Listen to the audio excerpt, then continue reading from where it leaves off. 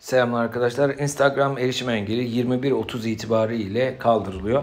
Ulaştırma Bakanı Abdülkadir Uraloğlu bir açıklama yaptı. Açıklaması şöyle. Türkiye Cumhuriyeti Devleti olarak katalog suçları çerçevesinde uyguladığı politikalardan dolayı sosyal medya platformu Instagram'a 2 Ağustos tarihinde taleplerimize karşılık vermediği için erişim engeli getirmiştik.